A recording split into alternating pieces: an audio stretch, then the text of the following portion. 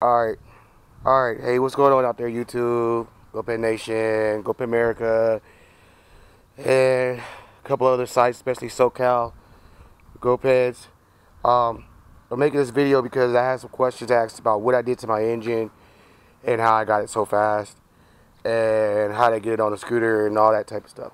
So, I'm going to start from the beginning. Where I got my motor and my setup, where SD scooters, cost me around like 305 bucks for the engine stock and the gas tank and the, uh, the standoff. These aren't the original standoffs. These are mine. Kind of my own custom thing to it. Because I want, ah, long story, but I want to do a whole lot to it with the engine and the setup. So I want it to look real sleek and cool. So I, I didn't want to widen it out any more than it had to be. So, yeah, back to what I was talking about. So back to the engine. So I started out, my first purchase was the engine, and the first upgrade I did was the break-in. I broke it in with AMSOIL Dominator oil. And, uh, yeah, this shit right here, dude, was a business. I did the heat cycle thing, you know, 15 minutes running, idle, give it a little gas here and there, and then 15, 15 minute cycle. I tell you what I say like this, I did a whole gallon of gas before I really freaking ran it. I mean, I wouldn't ride it until I did four tanks of that cycle, and I did like a, a half-ass, like, you know, I babied it. I mean, I went around the Devon's supermarket in the parking lot for hours until I ran a whole tank, and then I would let it cool. I mean, I didn't rev it high. I kept it in first gear, just revving it slow, letting it get midway, and then jump right into second. Um, but yeah, anyway, so I use the AMSOIL, the best shit I ever used. I'm gonna show you guys what I'm talking about. When I say like cylinder head, and this is a new cylinder, this is ESP head. Um, the one I originally had my boy used. So check that out, guys. When I say clean, I mean, shh, fuck. The cylinder is fucking still immaculately new. You see that? I can't get, I can't really get the light in there without blocking the camera. Fuck. I wish I could do it better. Um, but anyway, if you guys can see that, I mean, look how, how beautiful that is, dude, for a cylinder. I mean, you, there's no scaping, there's no burn marks, there's no scarring. You know what I mean? There's nothing. It's just a pretty, pretty ass freaking cylinder.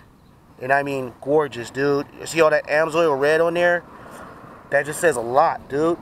I mean, look at it. Buttery. Buttery. So anyway, that's what I was talking about. That's so awesome about that damn thing. Sorry if the camera was upside down. I had to do it some weird ways.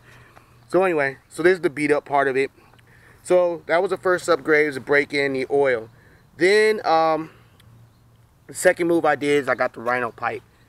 Um, the reason I got the Rhino pipe is because it's easy to mount up. majority of the mounts mount to the to the um, the engine, so it's easy to mount it up to to the to the Evo scooter. You know, you only had to mod up one mounting point, which is great versus trying to do three or four different size ones. You know what I mean? So that's how I did that. And when it came down to it, I, I love the pipe, but the reason I have it wrapped is because you get burned. that pipe goes right to your leg. I don't care what you wear, jeans, what.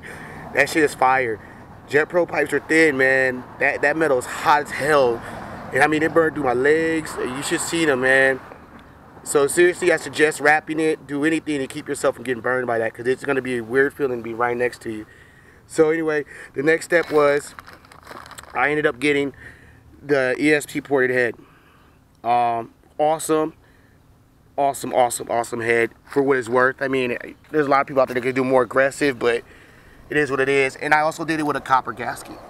And I used the right stuff when I rebuilt this whole thing because I rebuilt it from the crank, new crankcase and everything from the bottom up. So, I mean, bearings and all. The reason I picked SD scooters again is because they get a better batch of engines than what uh, DDM would get. DDM gets a lower level of stock number because they buy it so frequently and so much versus an off-brander who actually or off vendor like SD scooters which will probably just go straight to the manufacturer and get what they newest one that's on the shelf. I mean, you can have the new crankcase, but not the new head that Chung Yang made.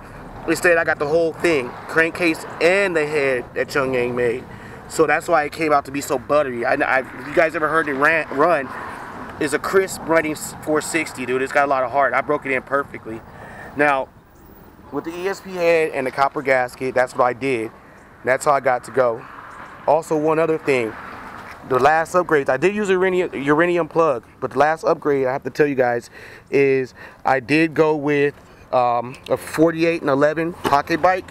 And the reason I tell you that is because at first it was just I was chewing up fucking sprockets with this engine. I mean, I was eating them up. The chain was getting loose. You gotta be careful about that. The chain got stretched because this engine really, really, really, really puts in a lot of power.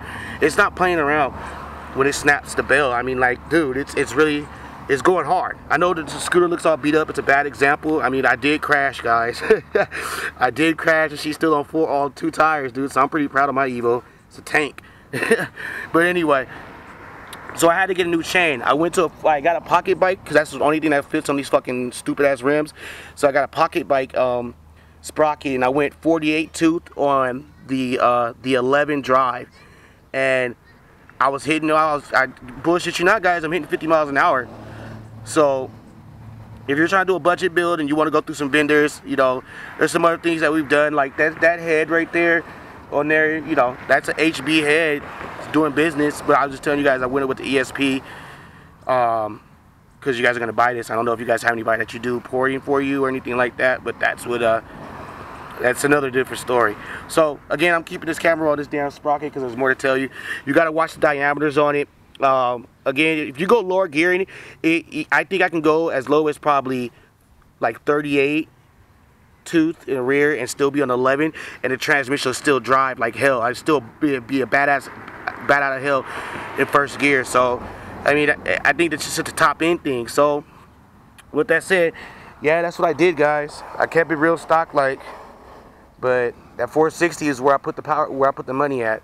So oh and I know you guys saw it before the add big brakes. I had to have them those those shits make everything stop. Lovely. So anyway that's my YouTube video on that engine. I hope you guys like the mods, and I hope you guys um, do what you can. Like I said, AMSOIL Dominator, what it do is the best shit you ever could run. Trust me. All right, now. Later, y'all. Hit me up whatever you need. Darnell out. YouTube love.